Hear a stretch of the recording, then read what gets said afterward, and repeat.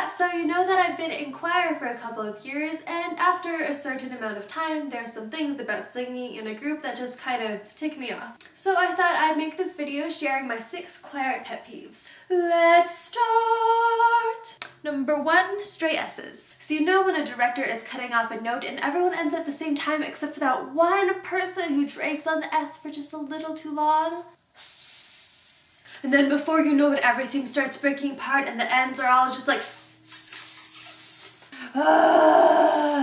Number two, breakaway bar lines. So I'm reading along to my music like the good little alto that I am and suddenly we get to a page turn and I realize that I'm singing an entirely different part than everyone else in my section. So I'm thinking to myself, either everyone else is wrong or I'm wrong. But I was just singing my notes. How could I have messed up? What I didn't notice was that we introduced a solo, which means that I used to be on this line and now I'm on this one. Number three, barely there dynamics.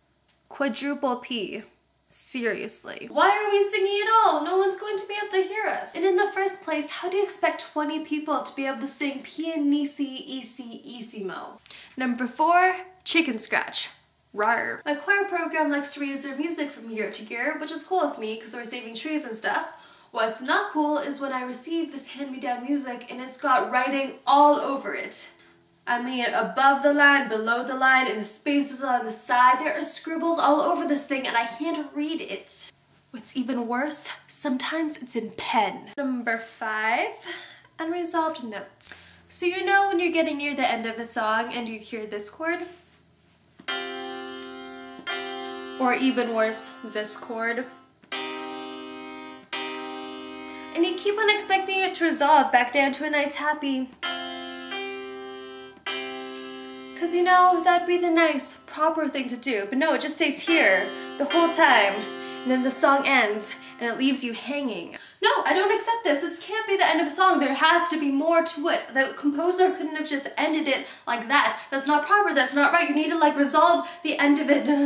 Number six, the never ending note. Sarah, you know what I'm talking about, right? It's when you've got this one whole note and it's tied to another whole note that's tied to another whole note and that's tied to another whole note and tied to another whole note. It's just cajillion whole notes that are all the exact same. Why must you deprive us of the ability to breathe? And sure, you can sneak in a breath, but then it...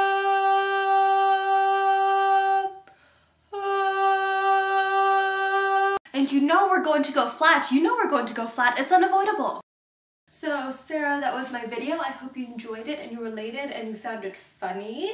I was trying to be funny. Did it work? Tell me in the comment section down below. Also tell me if you have any of your own choir pet peeves that I forgot to mention in this video because Sarah, you're in choir and I'm in choir and we were in choir for a year together. It's like a thing that we share. Also, do you like the shirt that I'm wearing? I got it yesterday and I love it because it's a mugshot of a pug. Isn't it just so cute? Sarah, I shall see you on Tuesday. The end.